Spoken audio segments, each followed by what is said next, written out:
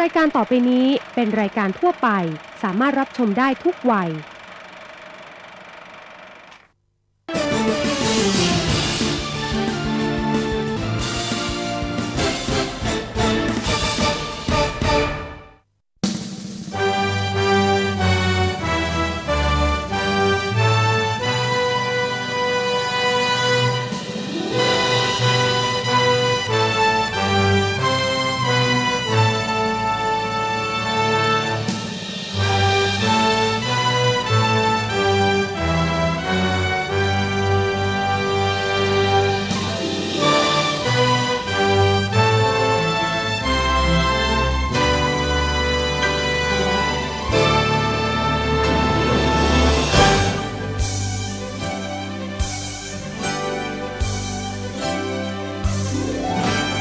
สวัสดีครับ ขอต้อนรับเข้าสู่รายการแสงธรรมของสื่อมวลชนคาทอลิกประเทศไทยครับ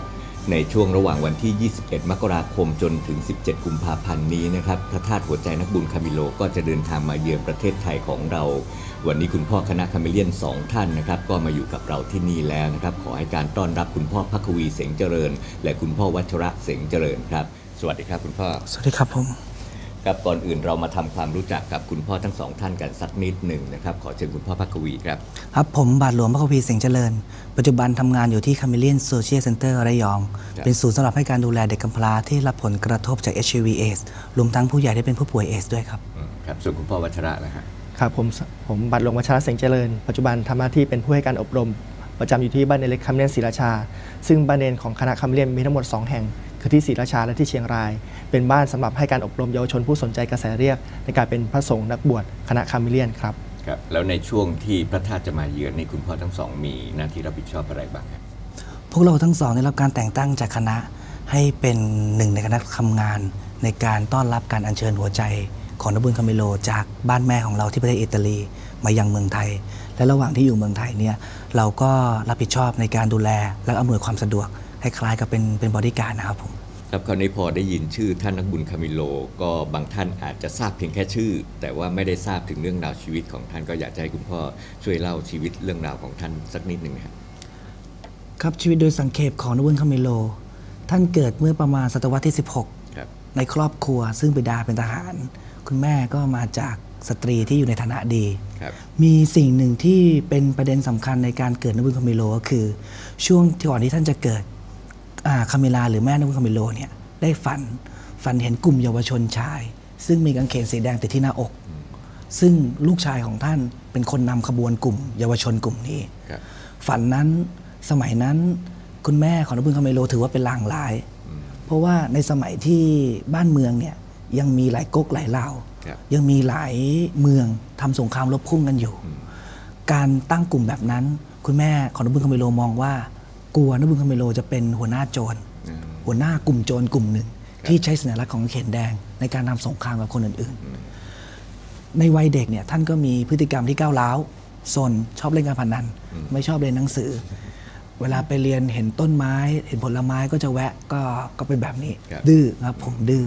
พอดื้อเสร็จปั๊บคุณแม่ก็ก็เครียดก็ปวดหัว แล้วก็คิดอยู่เสมอว่า ความฝันนั้นมันจะเป็นความจริงอืม ก็คือความฝันที่ลูกชายตัวเองจะเป็นหัวหน้าโจรเนี่ยมันจะเป็นความจริง สุดท้ายแล้วนบุญคาเมโลก็สูญเสียบิดาแล้วก็คุณแม่ครับผมท่านก็เป็นกำพร้า และเพราะท่านเป็นกำพร้าด้วยทำให้พฤติกรรมของท่านยิ่งไปกันใหญ่ เนื่องจากไม่มีคนคอยอบรมดูแลครับท่านใช้ชีวิตเหลวแหลก ท่านชีวิตติดอยู่กับการพนันดาบประจำตระกูล สมบัติประจำตระกูลของท่าน ก็ถูกขายเพื่อเอามาใช้หนี้ของการพนัน ท่านก็ไปสมัครเป็นทหารรับจ้าง ซึ่งสมัยนั้นก็เป็นอาชีพที่ สำหรับคนที่ไม่มีการศึกษาแล้ว ก็เป็นอาชีพที่หาเงินได้ดีพอสมควร ก็เสี่ยงตายเสี่ยงชีวิตหลายอย่าง ระหว่างที่เสี่ยงชีวิตในสงครามที่ท่านไปสมัครนะครับผมสงครามที่ท่านทำนี้ทำเป็นสงครามครูเสดด้วย และทำทำสงครามในทวีปแอฟริกาด้วยนะครับผมตอนที่ท่านเสี่ยงตาย ระหว่างที่ท่านเกิดสงครามนั้น ท่านเคยสัญญากับพระว่าถ้าท่านรอดตาย ท่านจะสมัครเข้าเป็นนักบวชคณะกัปปุชิน สุดท้ายแล้วท่านรอดตายสองครั้ง ท่านก็ก็ยังดื้ออยู่นะครับยังดื้ออยู่ครับจนกระทั่งหมดตัว หมดตัวเนื่องจากอายุ 25แล้ว24 25 ก็ถ้าถือเป็นคนก็เป็นคนที่ที่ไม่แข็งแรงแล้วเริ่มที่จะร่างกายไม่ไม่ไม่ฟิตเหมือนเดิมแล้วเพราะฉะนั้นก็ถูกปลดประจำการอ๋อนะครับผมพอถูกปลดเสร็จปั๊บก็ไม่รู้จะทำอะไรความรู้ไม่มีดื้อตั้งแต่เด็ก เพราะฉะนั้นต้องขอทาน ระหว่างที่นั่งขอทานอยู่ ก็เจอคนที่เป็นเศรษฐี ก็เห็นเอ๊ะร่างกายก็แข็งแรงตัวก็ใหญ่ทำไมต้องมานั่งขอทานไม่อายเขาเหรอ เขาก็บอกว่าเขาถูกไล่ออกจากจากกองทัพพอเป็นอย่างนี้เสร็จปั๊บเขาก็เลยเชิญเชิญชวนนบุญคาเมโลให้ไปไปอยู่ที่คณะฤาษีกัปปูชิน ก็ตอนนั้นก็เป็นจุดเริ่มต้นของการที่ท่านตั้งใจที่จะเข้าคณะด้วย ระหว่างที่ท่านทำงานอยู่ที่ฤาษีคณะฤาษีกัปปูชินนะครับผม วันหนึ่งท่านก็ถูกใช้เข้าไปทำงานในต่างเมืองนะครับผมเพื่อไปขนเหล้าเหมือนจากเมืองหนึ่งกลับมาอีกเมืองหนึ่ง นะครับผมท่านก็เป็นเป็นคนรับใช้อยู่ที่นั่น ระหว่างทางก็เป็นหนทางที่ขรุขระท่านก็นั่งคิดถึงชีวิตที่ผ่านมา ท่านก็เริ่มเริ่มรู้สึกว่าชีวิตของท่านเนี่ยท่านมีทุกวันนี้ด้วยเพราะพระพรของพระเพราะความรักของพระ ท่านเริ่มร้องไห้ เพราะว่าท่านเห็นว่าสิ่งที่ท่านตอบแทนให้กับพระ เป็นสิ่งที่ตรงกันข้ามกับความรักที่พระให้ แล้วท่านก็ลงจากหลังลาที่ขนของนั้นน่ะลงมาคุกเข่าแล้วก็ชกอกตัวเองล่ำคล่ำครวญเพราะว่าเสียใจในสิ่งที่ตัวเองทำ และวันนั้นเป็นต้นมา ท่านเป็นจุดเริ่มต้นของการเปลี่ยนแปลงชีวิตทั้งหมดของท่าน เราเรียกวันนั้นเป็นวันที่นบุญคาเปโลกลับใจ ซึ่งตรงกับวันที่สองกุมภาพันธ์นะครับผมซึ่งก็คือเป็นวันที่พระศาสนาจักรฉลองแม่พระถือสินชำระนะผมก็ถือเป็นวันสำคัญหนึ่งของคณะเหมือนกัน ตั้งแต่วันนั้นเป็นต้นมา ท่านไปสมัครเพื่อที่จะเป็นนักบวชก็เป็นนักบวชชั้นล่างๆพอเป็นอย่างนั้นเสร็จปั๊บท่านก็พยายามที่จะปรับปรุงตัวเองอย่างดีทำใช้โทษบาปภาวนาและพีกรรม นะครับผมแล้วก็ปัญหาเกิดขึ้นก็คือชุดนักบวชที่ท่านใส่ เนื่องจากก็เป็นชุดที่หยาบผ้าก็ไม่ได้นิ่ม ชุดนั้นขูดแล้วก็กับผิวหนังของท่านที่เป็นข้อเท้า ซึ่งเป็นแผลเก่าที่ได้มาจากสงครามนะครับผมทำให้ท่านนั้นมีแผลที่เป็นแผลเรื้อรัง ท่านไม่สามารถที่จะถวายตัวในคณะนักบวชนั้นได้ เนื่องจากมีแผลเรื้อรังอยู่ ท่านถูกส่งตัวไปที่กรุงโรม เพื่อไปรักษาแผลนั้น ที่โรงพยาบาลซานยาโกโม หรือโรงพยาบาลนบุญยากอบ ที่โรงพยาบาลนั้นเอง ท่านก็หลังจากเริ่มรักษาแผลให้หายแล้ว ท่านก็พบว่าที่โรงพยาบาลนั้น ผู้ป่วยที่เป็นเพื่อนของท่านเนี่ยก็ได้รับการปฏิบัติที่ไม่ดี เพราะว่าในสมัยของของนบุญคามิโลนั้น คนที่มีสตางค์คนที่รวย เขาจะจ้างคนหมอหรือพยาบาลไปดูแลคนป่วยในบ้านรักษาถึงที่บ้านเลย รักษาถึงที่บ้าน แตกต่างจากที่นี่นะผม คนที่มาเป็นผู้ดูแลคนที่โรงพยาบาล ก็คือคนที่เป็นนักโทษ คนที่เป็นคนคุก คนที่ต้องโทษประหารหรืออะไรก็แล้วแต่ให้มาใช้ทำงาน เพราะฉะนั้นเราพอที่จะคิดออกได้ว่า ผู้ป่วยจะได้รับการปฏิบัติแบบไหน จากนักโทษเหล่านั้น หิวน้ำก็ถูกตะโกน ตะคอกด่าหรืออะไรแบบนี้ เพราะฉะนั้นนักบุญคาเมโลเห็นสถานการณ์แบบนี้นะผมท่านก็เลยเริ่มมีความคิดที่ว่าเราน่าจะตั้งกลุ่มของคนที่มีน้ำใจดีขึ้นมากลุ่มหนึ่ง เพื่อช่วยเหลือผู้เจ็บป่วยเหล่านี้ที่ถูกทอดทิ้ง ที่เขาไม่รับการปฏิบัติอย่างดี ให้เขาได้ได้รับการปฏิบัติอย่างดี ให้เขาได้สิ้นใจตายอย่างดี และสำหรับนักบุญคาเมโลแล้ว ผู้ป่วยต่างๆ เหล่านั้นเป็นเหมือนพระคริสตเจ้าอีกองค์หนึ่งสิ่งที่ท่านสอนพวกเรานักบวชคามิเลียนอยู่เสมอคือ เราต้องมองเห็นพระเยซูเจ้าในตัวของผู้ป่วยเสมอ ไม่ว่าคนคนนั้นจะจะมีแผลเยอะขนาดไหน ไม่ว่าคนคนนั้นจะเป็นใคร ผู้ชายผู้หญิงเด็กหรือคนชรา นี่คือสิ่งที่นักบุญคามิโลได้สอน และหลังจากที่ท่านได้ทำอย่างนี้ขึ้นมา ก็มีคนที่มองเห็นสิ่งที่ท่านทำแล้วก็มาสมัคร มาสมัครกับท่านร่วมมือกับท่านทำให้ท่านมีกำลังคนที่เพียงพอ และเพื่อที่จะทำให้กลุ่มของคนที่มีน้ำใจดีต่าง ๆ เหล่านี้อยู่ได้ต่อไปเพื่อช่วยเหลือคนที่เจ็บป่วย คนที่ถูกทอดทิ้ง คนที่แนะนำท่านก็คือพระคาร์ดินัลแล้วก็พระวิญญาณด้วย ว่าเราก็ควรจะมี ตั้งเป็นคณะนักบวชขึ้นมา เพราะโดยการตั้งคณะนักบวชโดยมีจิตตารมณ์แบบเนี้ยเราจะสามารถสืบต่องานแบบนี้ได้ตลอดไป ถ้ายังเป็นกลุ่มอยู่ก็ยังถ้ายังเป็นกลุ่มอยู่ คือถ้านักบุญคาเมโลตายแล้วเสียชีวิต เรื่องก็จะจบ แต่ถ้าเกิดเราตั้งคณะนักบวชขึ้นมา แล้วต้อนรับคนที่คิดเหมือนกัน คนที่ปรารถนาจะช่วยเหลือพี่น้องที่ตกทุกข์ได้ยากเหมือนกัน เขาก็จะสามารถที่จะเราก็จะสามารถที่จะช่วยเหลือคนต่างๆ เหล่านี้ได้ตลอดไปก็มาสืบสานจิตครับผมต่อไป กางเขนสีแดงที่นักบุญคาเมโลเลือกและขออนุญาตใช้จากสันตสำนัก เพื่อติดบนบนชุดหล่อครับมีความหมายว่าคนที่จะเข้ามาในคณะคามิเลียน สักวันหนึ่ง จะต้องทรมานและจะต้องตาย ทรมานจากการทำงานเพื่อช่วยเหลือคนอื่น แล้วก็ต้องตายในในหน้าที่การงานนี้ หลังจากนั้นนักบุญคาเมโลก็เริ่มมีสมาชิกมากขึ้นทำให้ท่านก็ต้องเปิดเปิดบ้านนักบวชต่าง ๆ ทั่วประเทศอิตาลีอ๋อครับสุดท้ายหลังจากการทำงานหนักของท่านตลอดระยะเวลาที่ผ่านมา ท่านก็เริ่มป่วย เริ่มที่จะไม่แข็งแรง แล้วก็ปี 1614 ท่านก็เสียชีวิตอืมครับผม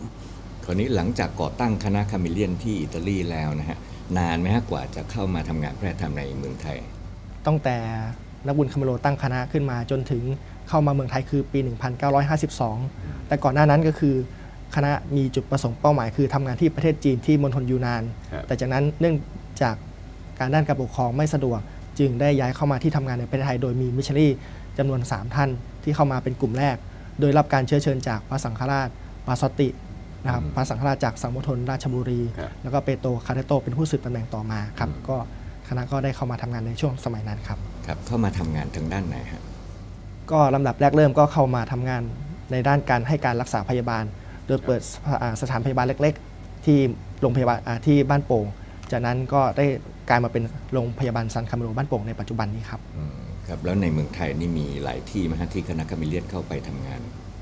สำหรับในเมืองไทยก็มีหลายที่หลายแห่งแต่จุดเริ่มต้นของเราก็คือ เริ่มที่โรงพยาบาล จากนั้นก็ได้มีการที่จะขยับขยายออกไปในตามสังคมณฑลต่างๆ ในประเทศไทยก็จะมีในส่วนของที่ทำงานเกี่ยวกับอ่าผู้ที่เป็นโรคเรื้อนซึ่งสมัยก่อนก็มีจำนวนมากครับนะครับ จากนั้นก็มีการที่จะให้การช่วยเหลือ ผู้สูงอายุ ซึ่งกิจการของคณะคำนิยมประเทศไทยก็มีอยู่มากมายหลายแห่ง ซึ่งก็มีตามสังฆมณฑลต่างๆ ก็แบ่งงานประเภทหลักๆ ก็มีด้านอ่าสุขภาพอนามัยก็คือโรงพยาบาล มีบ้านผู้สูงอายุ แล้วก็มีเกี่ยวกับอ่าบ้านเด็กพิการนะครับอ่าแล้วก็จะมีที่ต่างๆ ก็จะมีลำดับง่ายๆ ก็คืออาที่บ้านพักผู้สูงอายุก็จะมีที่ Camillian Social Center สามพรานจังหวัดนครปฐมครับจากนั้นก็จะมีที่ Camillian Social Center จันทบุรีนะครับแล้วก็อีกที่หนึ่งก็คือที่ Camillian Social Center ปราจีนบุรี ซึ่งที่ปราจีนบุรีก็เป็นสถานสงเคราะห์ร้อยเปอร์เซ็นต์คือให้การดูแลผู้สูงอายุที่ยากไร้อย่างแท้จริง หลังจากนั้นก็จะมีบ้านเด็กพิการที่ลาดกระบัง ซึ่งเป็นศูนย์ที่เปิดใหม่อ่าแล้วก็ยังมีที่เชียงรายนะครับนะจากนั้นส่วนเกี่ยวกับด้านการอบรม แล้วก็มีการให้การอบรมเยาวชน ผู้สนใจเข้ามาเป็นนักบวชคาเมเลียน ก็จะมีบ้านในเล็ก 2 แห่งคือที่ศรีราชาและที่เชียงรายครับจากนั้นเมื่อโตขึ้นมาเป็นลำดับขั้น ก็จะมีบ้านโพสต์สุรันที่สามพรานนครปฐมจากนั้นก็เข้าสู่ปีที่เราเรียกว่าปีนวกภาพ ซึ่งจะเป็นการบ่มเพาะจิตอารมณ์ของนักบุญคำโลโดยแท้จริง ใช้เวลาหนึ่งปีเต็มที่ปราจีนบุรีในการสัมผัสกับผู้สูงอายุ ผู้ยากไร้ จากนั้นก็จะถวายตัว แล้วก็จะมาเรียนศึกษาที่วิทยาลัยแสงธรรมที่สามพรานจังหวัดนครปฐมแล้วก็ควบคู่กับคำการทำงานด้าน งานอภิบาลผู้สูงอายุไปในตัว จากนั้นเมื่อบวชเสร็จหรืออะไรสักอ่าทำอะไรเสร็จก็จากนั้นก็นะครับนะก็ทำงานตามสายงานต่างๆ ของคณะ ก็จะเกี่ยวกับสุขภาพอนามัย แล้วก็เกี่ยวกับงานเมตตาสงเคราะห์ครับแล้วก็มีที่ Social Center ระยอง ซึ่งให้การสงเคราะห์อ่าผู้ติดเชื้อ HIV และเด็กที่ได้รับผลกระทบจากเชื้อ HIV เช่นเดียวกันครับ ครับคราวนี้มาทางด้านคุณพ่อพักวีบ้างหลังจากที่ได้ทำงานที่ Camillian Social Center ระยองมาเป็นระยะเวลาหนึ่งก็ค่อนข้างนานเหมือนกันนะฮะมีปัญหาหรือว่ามีอุปสรรคอะไรบ้างไหมฮะในการที่จะทำงานของคณะเนี่ยครับคณะเราทำงานกับคนที่ได้รับความทุกข์ทรมานเรื่องของสุขภาพเป็นหลักครับโดยเฉพาะอย่างยิ่งถ้าเขายิ่งยากจน ถ้าเขาเป็นคนที่ถูกทอดทิ้ง ถ้าเขาเป็นคนที่ไม่มีใครที่ให้ความสนใจเขาครับคณะเราก็จะทำงานกับกลุ่มบุคคลเหล่านี้อืมสิ่งที่เกิดขึ้นที่ Camillian Social Center ระยองนั้น เป็นเหตุการณ์ต่อเนื่องที่เกิดขึ้น ต้องย้อนหลังมาว่าจากซอยเรวดีอืมเพราะว่าสมัยนั้นเราทำงานเรื่องของ HIV AIDS ครับในสังคมไทย ปัจจุบันปัจจุบันนี้งานที่เกิดขึ้นสืบเนื่องมาจากตรงนั้น มันเป็นสถานการณ์ที่ที่ดีขึ้นเรื่อยๆ ในอดีต เราเคยอยู่แล้วก็มีคนที่ไม่เข้าใจเรื่องของ HIV AIDS ซึ่งเคยเกิดขึ้นในรูปแบบนี้กับโรคเรื้อนที่เราเคยทำกับผู้สูงอายุที่เราเคยทำเพราะฉะนั้นปัญหารูปประสาทที่เกิดขึ้นในตอนปัจจุบันนี้ก็คือว่า การที่คนในสังคมส่วนใหญ่ ยังไม่เข้าใจ ยังไม่พร้อมยังไม่ตระหนักในในความสัมพันธ์แบบเป็นพี่น้องกัน ระหว่างคนต่อคนทำให้มีคนที่ถูกทอดทิ้งทำให้มีคนที่อดอยากทำให้มีคนที่ที่ไม่รับการเหลียวแลคณะจึงเข้าไปที่จะช่วยเหลือ แต่ถ้าเกิดคนในสังคมส่วนใหญ่เข้าใจถึงประเด็นตรงนี้ว่าทุกคน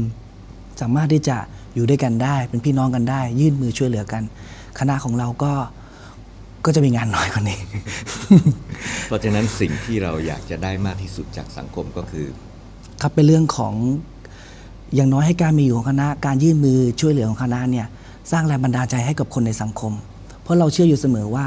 ความดีลึกๆที่ซ่อนอยู่ในในใจของคนเนี่ยคนแต่ละคนมีอยู่ เวลาเราเดินไปตามถนน คนส่วนใหญ่เห็นเด็กแล้วก็สงสาร คนส่วนใหญ่เห็นคนยากจนแล้วก็สงสารอยากจะทำบุญครับแต่ด้วยสภาพชีวิตปัจจุบันของเขาเนี่ยเขาไม่รู้จะทำบุญยังไง เขายังมีภาระอยู่ เพราะฉะนั้น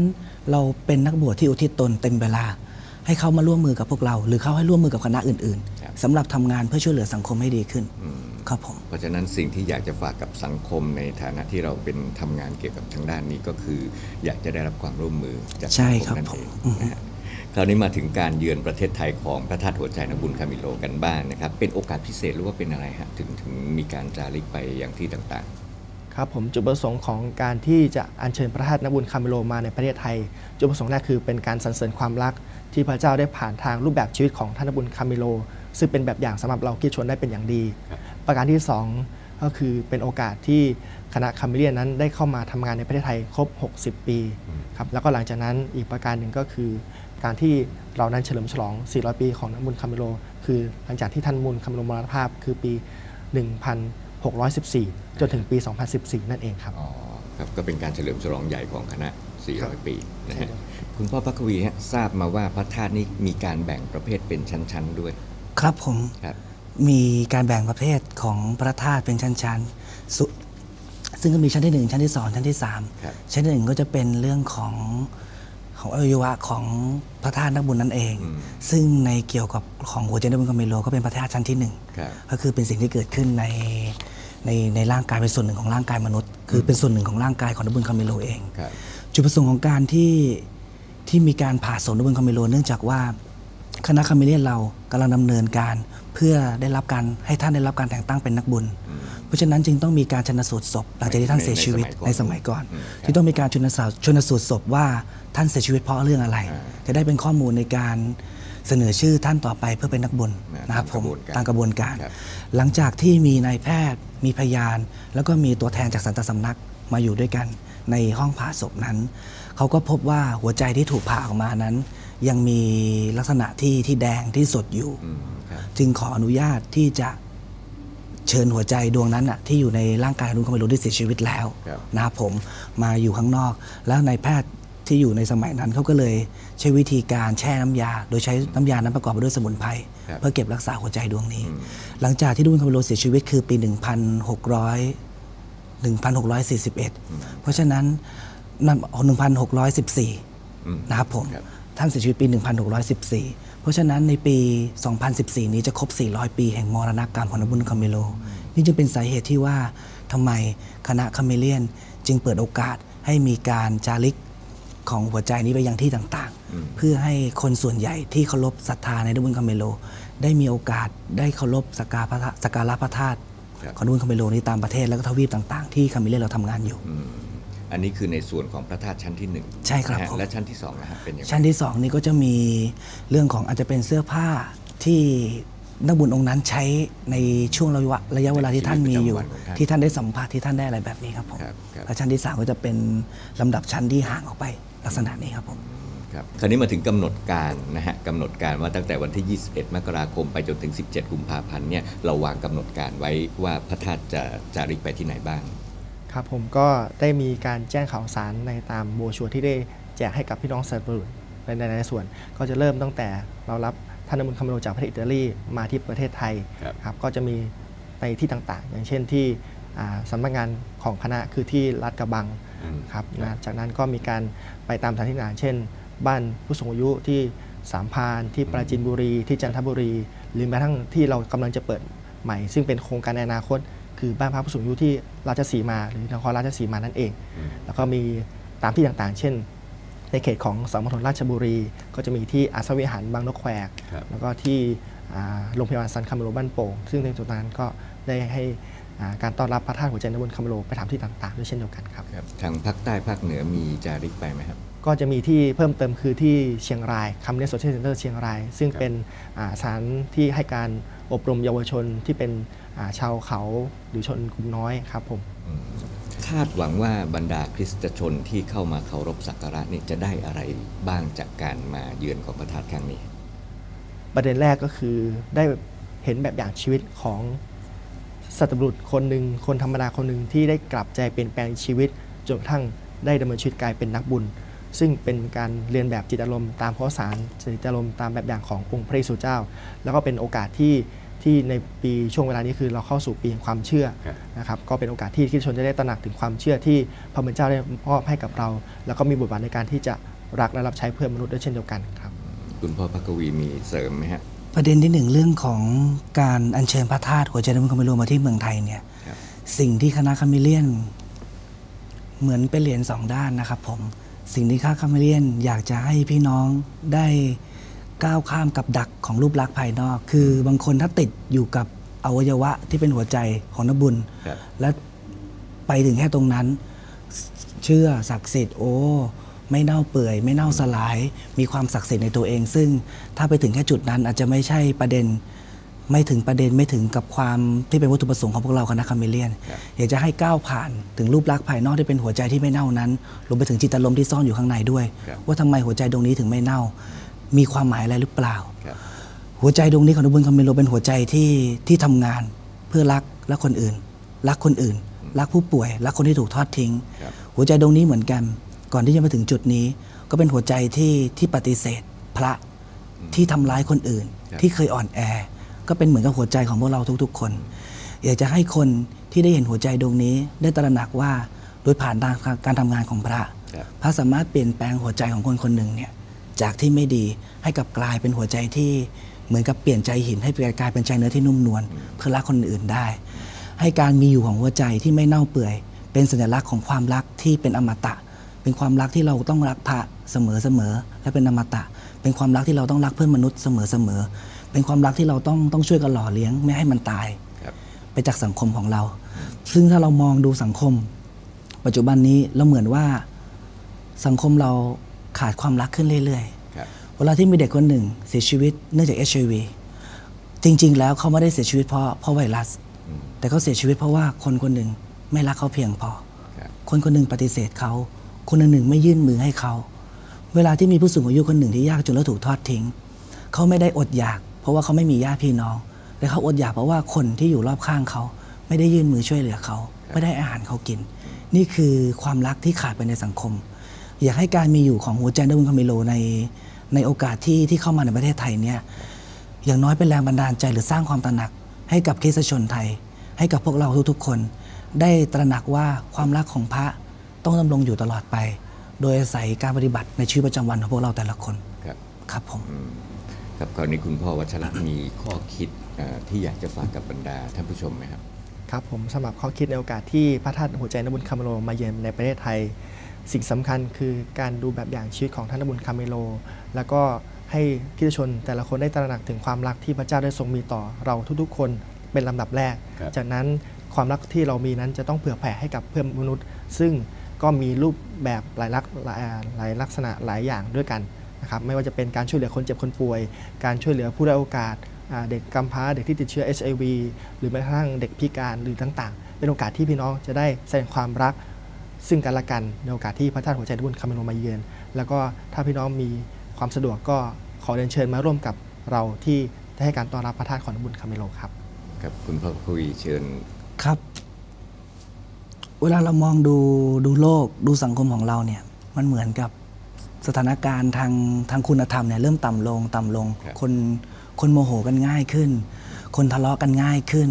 คนสามารถที่จะเกลียดกันง่ายขึ้นครับลงมือทำร้ายกันและกันง่ายขึ้น มันเหมือนกับโลกเรามืดลงทุกวัน มืดลงทุกวัน แต่มันก็มีนักบุญท่านหนึ่งที่ที่ได้เคยกล่าวไว้ว่า โลกที่มืดแบบเนี้ยถ้าเราจุดเทียนสักเล่มหนึ่งแค่เล่มเดียวเล่มเล็กๆไอ้ความมืดไอ้ความมืดนั้นก็ถูกทำลาย โดยแสงสว่างจากเทียนเพียงเล็กๆเพียงเล่มเดียวครับตอนนี้คาเมเลียนเราเริ่มจุดเทียนแล้ว เพื่อให้โลกเริ่มสว่าง แต่ว่าเราต้องการเทียนเล่มอื่นๆที่มาต่อด้วย เพราะเวลาที่เราจุดเทียนสักวันหนึ่งเทียนที่เราจุดมันก็จะหมดมันก็จะสั้นลงไป แต่เราต้องการเทียนจากพี่น้องคนอื่นๆด้วย มาช่วยกันจุดมาช่วยกันต่อ เพื่อทำให้โลกของเราได้ได้อบอุ่นขึ้น ได้สว่างไสวขึ้นครับก็หวังว่าท่านผู้ชมคงจะได้รับพระราชทานจากการนำเสนอวิงวอนของท่านนบุญคามิโล ในโอกาสการมาเยือนของพระธาตุหัวใจนบุญคามิโลในครั้งนี้นะครับโอกาสนี้ก็ต้องขอขอบพระคุณคุณพ่อทั้งสองท่านด้วยนะครับ ขอบคุณครับ และสัปดาห์หน้านะครับ พบกับคำตอบชีวิตส่วนสัปดาห์ถัดไปเรากลับมาชมแสงธรรมกันได้ใหม่นะครับ และท่านใดอยากชมแสงธรรมย้อนหลังขอเชิญได้ที่ catholicmedia.cbct.net วันนี้มีความสุขกันที่สุด เดี๋ยวเราไปพบกันที่วัด และเราทั้ง 3 คนนะครับ วันนี้ขอลาไปก่อน สวัสดีครับ